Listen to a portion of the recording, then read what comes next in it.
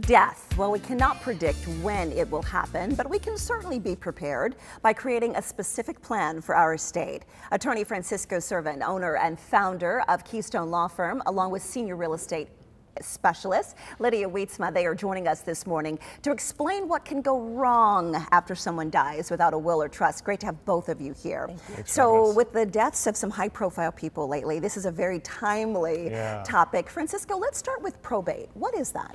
Uh, probate is this court process that helps people uh, gather their money and their real estate and everything they own, from stocks to brokerage, to everything from their own selves, and pass it on to the rightful heirs and split it up to whoever is supposed to inherit it. So ma basically, making sure that your assets get distributed properly, yep. on time, and to who they're supposed to. And you've yep. dealt with folks in the real estate yes, side when yes. this can get really messy. It can. I had a client recently that her husband had been diagnosed with. Um, terminal cancer, and so they thought they had everything in, in order. Mm-hmm. And three months later, I received a call to sell the home, and, and we found out that she didn't have a trust. She only had a power of attorney, and she thought she was safe with the power of attorney. Power of attorney is only good for when someone is alive. They're the person that takes care of decisions, things like that.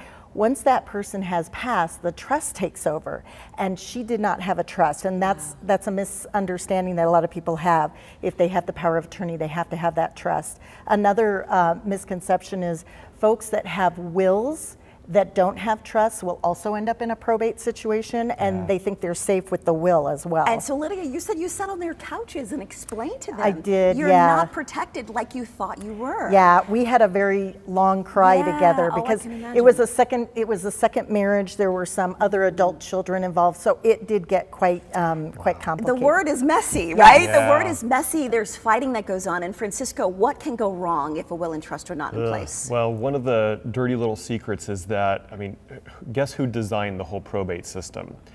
Probate attorneys. Probate lawyers. And uh, one of the rules that's set up in there is probate lawyers are the first to get paid out of an estate. So whenever there's fighting or there's disagreement, there's no incentive for the lawyers to shut it down. They, as long as they want to drag it out. Um, there's a lot of great attorneys out there, of course, colleagues that I work with, but it can just turn into a year long. I mean, we have cases that have gone on for five years or more where the fees just consume a huge portion of the estate of this money that's supposed to go to the family members. And uh, for example, Aretha Franklin, we were just talking about this. Is it yeah. true she didn't have a will or trust That's what we're hearing, yeah. I mean, when you hear something like that, she has four sons, a ton of money, yeah. and she's going to continue to make money. What if something like yeah. that happened in Arizona? In Arizona, the way it would have to work is the estate would actually, the probate estate would actually be open for years because her estate's going to continue to get royalties mm -hmm. for every for all of her uh, publications and that estate is going to go on for who knows how long. And yeah. because the rightful heirs have to receive that, the only way to get it is for it to go through probate. And you work with a lot of folks in the real estate side. Yes. You said you really enjoy what they do at Keystone. Yeah, at Keystone Law Firm, the one thing that I do like about Francisco's program he will put a trust together and then he reviews it on a yearly basis. So yeah. if a birth comes, if if a divorce happens, if grandchildren have issues, he does review all those and and tax laws change. Well, things life changes, life right? Changes, I mean, if it yes. doesn't change, it's because we've passed away. Exactly. Life changes. No, for sure, for exactly. sure. So what when should someone start getting this stuff in order?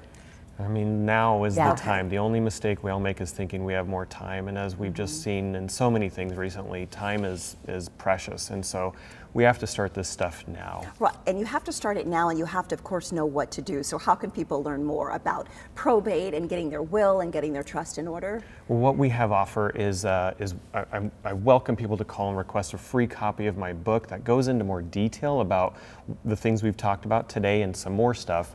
Um, but then also, we're offering a free public seminar on September 13th. All folks have to do is call, get registered, and they're welcome to join us uh, to learn a whole lot more about this and to receive a discount on any services you might need. And that's to avoid the tears, right? Yes. Yeah. Yes. There's lots of issues that happen, and and one of the things I found most striking with when children are going through this. You were saying when they come to you, they're grieving. They, that's the one thing that a lot of uh, parents feel like, oh, my kids will take care of it when I'm gone. I don't have to worry about it. the issue that comes up is Francisco and I have to sit with those children, Mm-hmm. and they're in the process of grieving their, their parents or their loved one, and they're having to make major decisions on top of it. That is the worst time to make decisions. And the loved one may have wanted certain things to certain uh, heirs. They may have wanted uh, monies to go to certain organizations, and nobody knows that.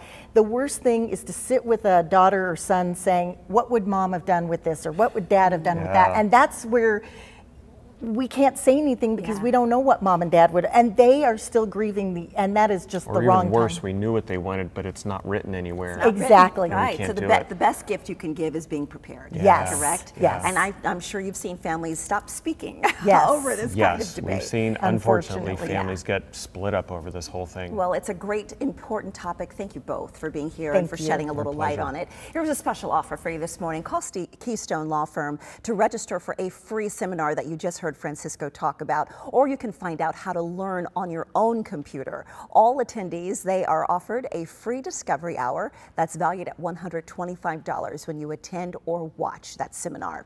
Keystone Law Firm, they are located at 2701 West Queen Creek Road, suite number 3 in Chandler. 480-418-5586 is the number to call if you'd like a consultation or visit the website keystonelawfirm.com.